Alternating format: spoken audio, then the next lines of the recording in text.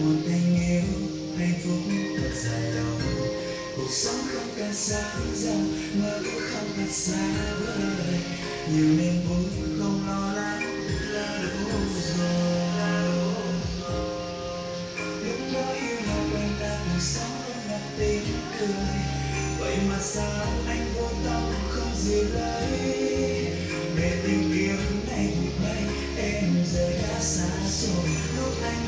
Dati ay naman